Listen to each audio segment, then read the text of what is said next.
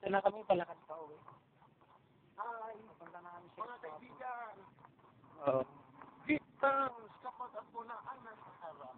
Sit out. down, kapag ako na ang Siguro ganun tayo, gago. Dito na kami. For the ladies and boys and the people out there making you some nice sit back.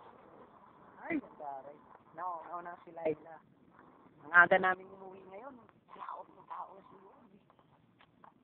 Yosi na lang ako eh. Hello? Pre, kamusta naman paglalakad natin papuntang mountain? Hiking kami ngayon, nag-hiking kami. Uwi na kami sa stop house namin. Kasama namin, no? Huli. Kawawa naman. Wala habol pa yan. Habol. Habol na lang.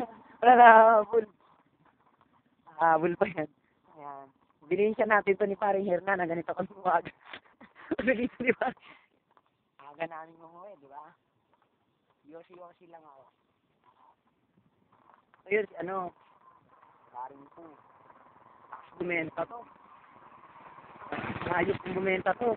Jack Bennett. Ano naman si Ranel. Yan yung ano, buhay ko matangkad. Ayan.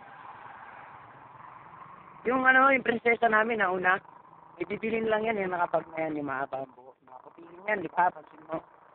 and